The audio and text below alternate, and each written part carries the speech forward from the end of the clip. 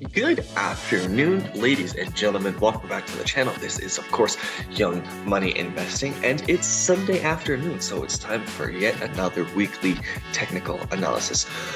Really quick, if you're not subscribed yet, just take two seconds, go down, hit that subscribe button. That way, you never miss another analysis and you always know what's going on in the markets. Now, let's go ahead and jump into the charts. Alright, starting off on a daily time frame for the Russell 2000. Um, you can see we kind of came down, touched this line in the last week of December, kind of bounced off it a little bit, and have just been going sideways ever since. Um, really nothing too crazy happening.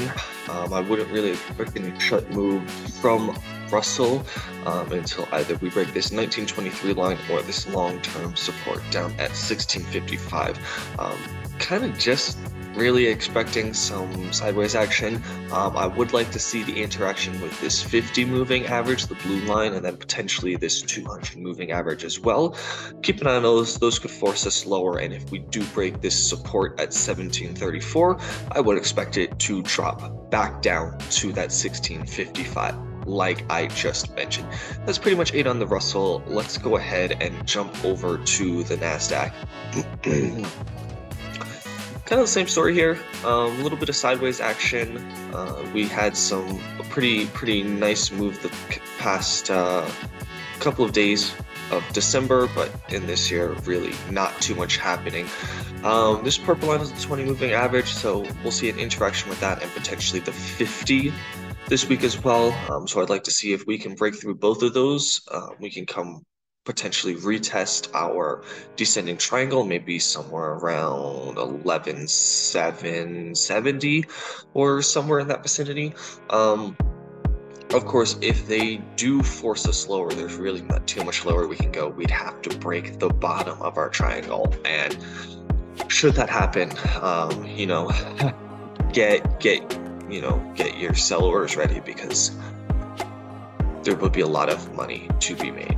But you know, we got to see this interaction play out, see what the moving averages are going to do, see what price action is going to do. Um, you know, and just just keep an eye on things. We're not going to jump into anything quite yet. Um, I like to see how things are going to play out. Even if we were to break this line, I would be waiting for a retest of it first. Um, I, I think it's it's easily possible that you see some type of false breakout, and then we move back into this triangle for another touch off of the descending line, and then you know potentially even a break above, or at that point coming back down. So let's jump into the Dow Jones now the Dow has not been treating me so nice recently. I talk about, uh, you know, how much fun I have trading the Dow. I had a bad time last week, but I still made a little bit of money. So, you know, all good things. Um, we did get above our supply zone.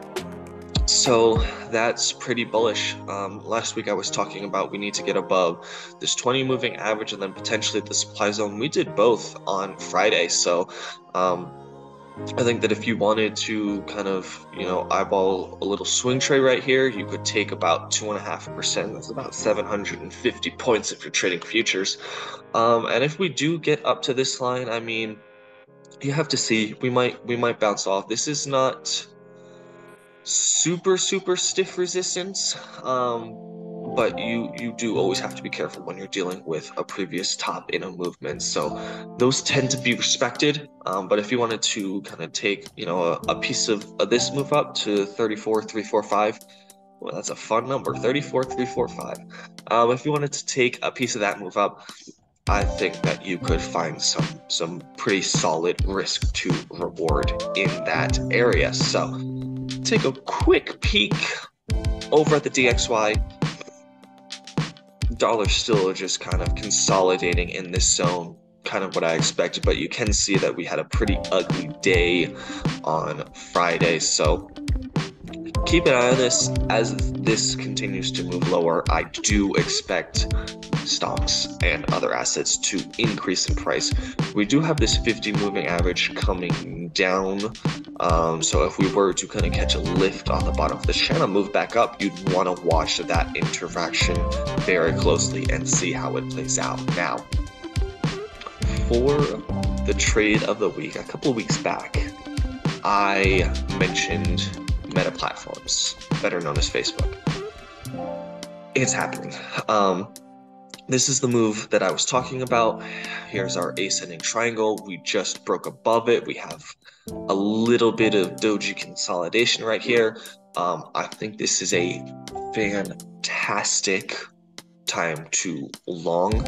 Um, if you're buying the stock or buying options or whatever, my profit target would be about 155.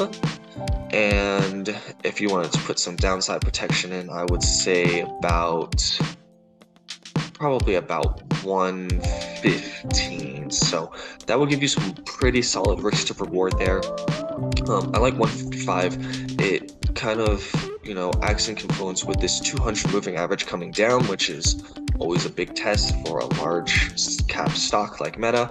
Um, and also, we had this support line back here in August of 2022 that got broken, so I would expect it to turn into resistance now.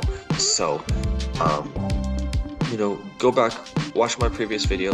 Um, uh, it, will give you more details, but this is this is, you know, this is the breakout right here. So, if you want it to long, and again, this is not financial advice, but if you want it to long, I think this would be a good time to do it. All right, that's it for me, guys. This one is uh, short and sweet. I love you. You guys are the best. Peace out.